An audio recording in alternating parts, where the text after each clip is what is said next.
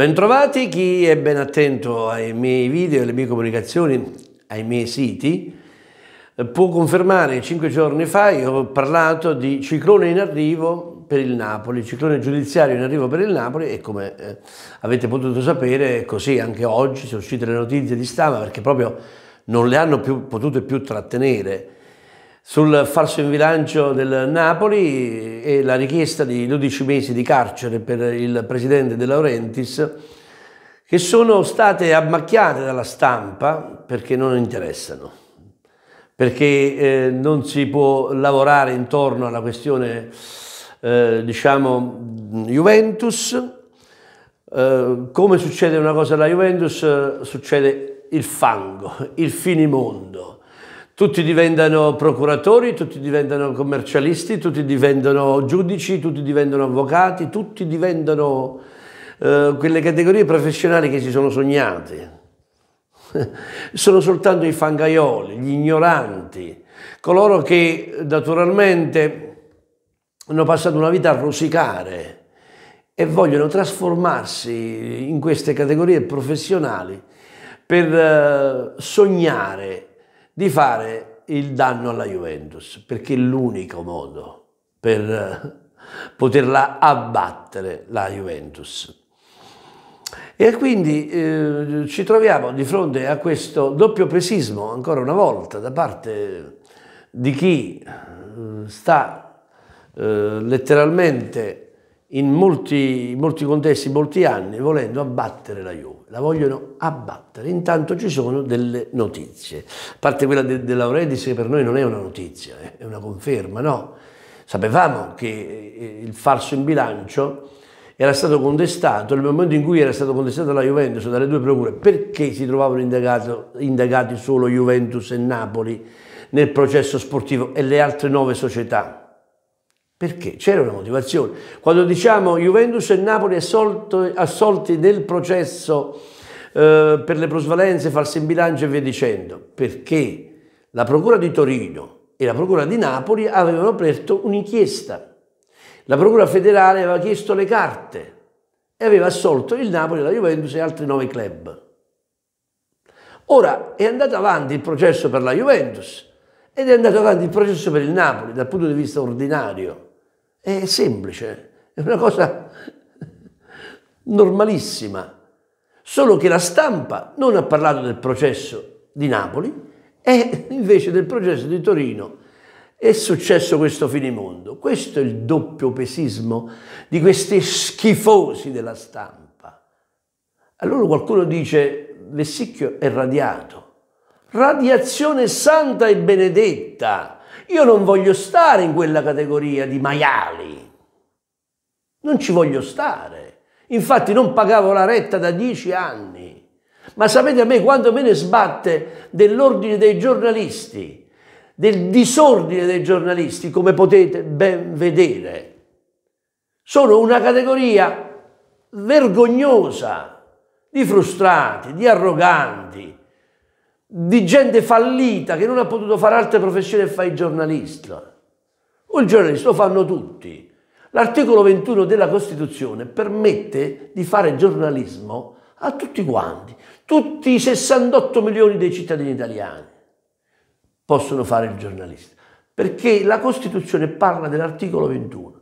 L'ordine dei giornalisti è una, è una cosa vergognosa, è una lobby e io in quella lobby non ci sono mai voluto stare, infatti non pagavo nemmeno le rate.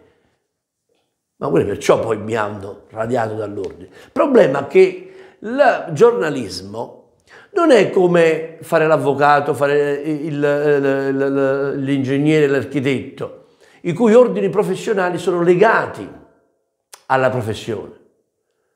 Non esiste infatti l'esercizio abusivo della professione di giornalismo un giornalista professionista.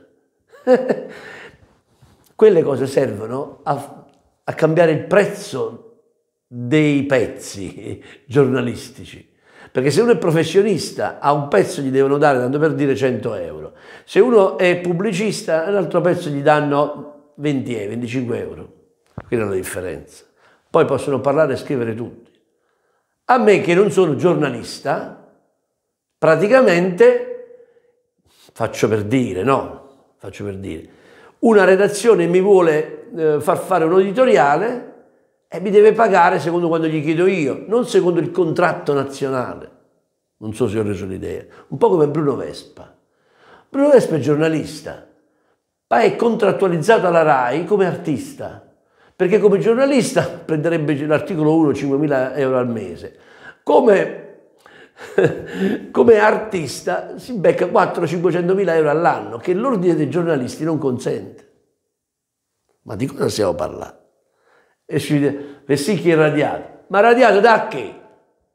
Da questa banda di fake news, di essere di fake, fake men, perché sono uomini fake. Questi sono bugie, bugie, bugie. Cioè del processo Juve si parla, mille teorie, rischia qua, rischia là. Del processo Napoli non si parla. Com'è questo doppiopesismo? È la stampa. E io, che vivo di onestà intellettuale, dovrei essere mischiato in questi personaggi. Ma, ma, ma se ne andassero al paese di Beppe Grillo, al Vaffa. Quindi mettiamo bene i puntini sulle i e parliamoci chiaro. La situazione non è bella perché diciamo questi falsi in bilancio, queste situazioni che ormai eh, sono in tutte le società, in tutte le squadre, eh, non sono cose, però la giustizia sportiva ha fatto il suo corso. Juventus e Napoli le ha assolte. Ma perché? Perché la Covisoc ha visto i bilanci di Juventus e Napoli e praticamente ha, ha, ha iscritto le squadre al campionato. Ora la Serie B si rischia soltanto se si è tentato il falso in bilancio per arrivare a, a, ai bilanci. No, L'Inter non dovrebbe essere mai iscritta al campionato, mai. Addirittura quello del 2005-2006 che gli diedero al tavolino, là, là ci fu una bocciatura del, del, della Covisoc perché l'Inter non aveva approvato il bilancio non poteva iscriversi a quel campionato, addirittura gliel'avrebbero dato a tavolino, pensate un po'.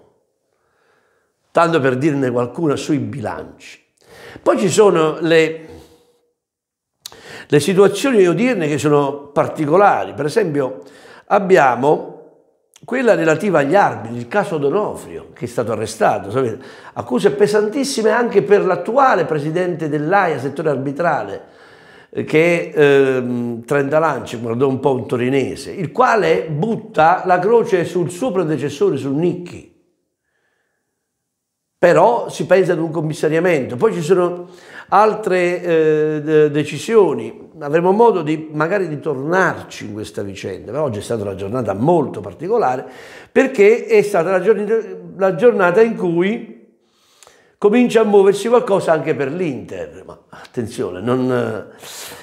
perché c'è la situazione dei bond, i bond Inter che dunque c'è questo rischio declassamento negativo su Credit Watch e nella categoria dei titoli eh, dunque particolari. Il comunicato è questo, in seguito ai mancati pagamenti da parte del suo sponsor eh, di maglia, la Digital Bits, a causa della recente flessione nel settore delle criptovalute, Standard Poor Global Ratings ha collocato i bond di Intermedia and Communication SPA, la società in cui confluiscono i ricavi dai diritti TV e sponsor del club dell'Azzurro, su Credit Watch in negativo. Il passaggio saliente è questo della, diciamo, di, del comunicato. Prevediamo che intermedia, io direi intermerda, ma dicono intermedia, e communication, società per azione, potrebbe avere flussi di cassa di sponsorizzazione notevolmente inferiori in assenza di un'adeguata sostituzione che potrebbe indebolire materialmente la sua capacità di ripagare il debito. Prosegue dunque la nota visionata da Calcio e Finanza. Il credit watch negativo indica che eh, potremmo abbassare il rating di emissioni se riterremo il club, nonostante il marchio forte, è riconoscibile possibile, incapaci di trovarsi, di trovarsi contratti di sponsorizzazione adeguati, con termini simili per sostituire Digital Bits. Attualmente il rating del bond dell'Inter è B, che equivale ad un giudizio altamente speculativo, che sui mercati finanziari viene definito junk band o titolo spazzatura. Tra i rating ottenibili il B è il quindicesimo nell'ordine.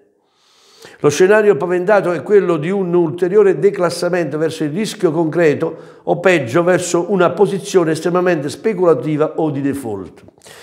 In assenza di un'adeguata sostituzione prevediamo, entra prevediamo, entrate di sponsorizzazione sostanzialmente più deboli dopo mancati pagamenti da Digital Bits. Digital Bits dipende dai suoi flussi di, di cassa del mercato delle criptovalute che quest'anno è peggiorato con condizioni che sono peggiorate durante il secondo trimestre 2022. Digital Bits ha saltato pagamenti per 1,6 milioni di euro in bonus per la stagione di Serie A 2021-2022 e 16 milioni di euro per l'attuale stagione 2022-2023, che rappresentano le prime due rate dei principali pagamenti del contratto base di 24 milioni di euro in scadenza a luglio e ottobre. Ciò ha portato il club a rimuovere loghi Digital Bits dal suo sito web, da cartelloni pubblicitari, dalle maglie, dalle squadre giovanili e femminili. E questo invece è quello che concerne l'Inter questa uh, situazione del, dello sponsor, perché poi la Digital Beats paga regolarmente i suoi contratti, li onora alla Roma. E perché non li onora anche all'Inter? È questo che non si comprende. Francamente io in questa situazione eh, diciamo finanziaria ci capisco ben poco. Quindi mi fido di quello che il comunicato afferma. Sta di fatto che quando io parlavo tempo fa, sempre su questo canale ma anche su TikTok, del fatto che la Digital Bits non eh, sta pagando, eh, o questa Digital Bits non paga e quindi è anche soggetta a dei risarcimenti da parte dell'Inter, credo, penso, no? Oppure evidentemente non paga perché la situazione dell'Inter è talmente compromessa da potersi permettere il fatto che non paga. Perché pensate se l'Inter fallisce, la Digital Bits eh, non potrà pagare, non, non, non paga il risarcimento, non lo pagherebbe mai ad una squadra fallita e il, eh, la tenuta finanziaria dell'Inter è un'immagine molto negativa e Digital Beats probabilmente si rivarrà a sua volta contro l'Inter perché dice non è l'immagine che noi abbiamo messo sotto contratto. C'è una serie di situazioni molto particolari anche ehm, in questa vicenda. Noi non non eh, mettiamo, come si dice, i cari davanti, buo, davanti ai buoi. La situazione compromessa dell'Inter non è questa, è quella dei 900 milioni di passivo senza ricapitalizzazioni, quindi io non oserei proprio immaginare l'Inter come ha fatto il bilancio. Mentre alla Juve e al Napoli gli vanno a fare le pulci sul bilancio, io non so l'Inter come ha potuto farsi approvare il bilancio dalla Covisoc, dalla FIGC, ma come sapete la Procura di Milano è ben attenta a non farsi... Eh, a non farsi compromettere tutto. Non apre l'inchiesta. E poi c'è l'altra notizia di giornata, il passo indietro della Procura di Torino. Andiamo a vedere che cosa è. Ehm, è particolare questa situazione perché nulla di, di chissà che cosa, però, nulla di chissà che, però Io ho fatto, ho indugiato su questa vicenda sul sito che dirigo, che è tuttoive.net, potete leggerla anche là.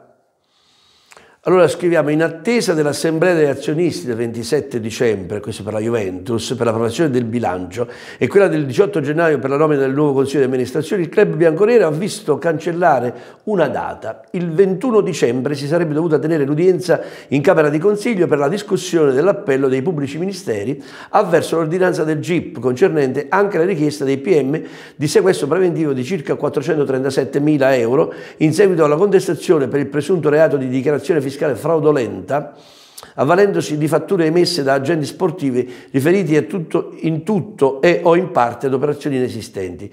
In questo modo si registra il passo indietro della procedura della Procura di Torino. Cioè c'è anche un'altra cosa che non sapevamo, che va a vantaggio della Juventus, e che il GIP, oltre ad aver respinto la richiesta di carcerazione per Andrea Agnelli, ha respinto anche il sequestro preventivo di oltre 400 mila euro a proposito dei, eh, dei rimborsi per i procuratori, di cui tanto si sta parlando. Intanto i legali della Juve vogliono ancora presentare l'istanza di spostamento del procedimento della Procura di Torino a quella di Milano in subordine a quella di Roma. Un nodo importante da sciogliere nei prossimi giorni, quello legato alla competenza territoriale, perché l'istanza da parte dei legali della Juventus è stata già presentata alla Procura Generale della Cassazione e una decisione è attesa entro il 19 dicembre. Ma perché i legali della Juve ritengono di poter ottenere lo spostamento a Milano? Perché alcuni tra i principali reati contestati, false comunicazioni sociali, manipolazione del mercato e aggiotaggio, tre reati contestati, ma che sono stati sanati per quanto riguarda il processo sportivo, questo lo voglio ricordare, si sarebbero consumati a Milano, dove sede, ha sede la borsa da dove vengono diffuse le comunicazioni delle società quotate e perché in subordine a Roma, perché, trova, perché lì che si trova il data center utilizzato per il servizio. Quindi, come eh, ben eh, notate, la Juventus ha motivato, ma lo abbiamo detto già in altre circostanze, eh, anche il fatto perché chiede di spostare il processo a Milano o in subalternativa a Roma. La eh, Procura di Torino invece ritiene che i reati contestati si sarebbero consumati presso la sede della Juve, da dove sarebbero anche partiti comunicati ufficiali riferiti all'ormai nota manovra stipendi. E la decisione toccherà alla Procura Generale della Cassazione. E se venisse accolta l'istanza della Juventus, i tempi si dilaterebbero per consentire all'eventuale nuovo pool di pubblici ministeri per studiare tutto sull'inchiesta. Quindi facciamo il punto su questa situazione. In pratica la Juventus chiede lo spostamento del processo eventuale, perché qui siamo alla richiesta di rinvio a giudizio, a Milano, perché lì la sede della Consob e quindi i maggiori diciamo, reati contestati sono questi eh, che eh, comprenderebbero la Consob. Però la Procura di Torino dice, eh, eh ammesso che i reati che contesta dice, vengono fatti dalla sede della Juventus. Quindi a mio avviso territorialmente, ma io per, per, quel, per la mia conoscenza eh, diciamo dei fatti, credo potrebbe aver ragione la Procura e torto la Juventus. Perché se i fatti si sono svolti a Torino è evidente che la Procura di Torino eh, diciamo, ha aperto l'inchiesta.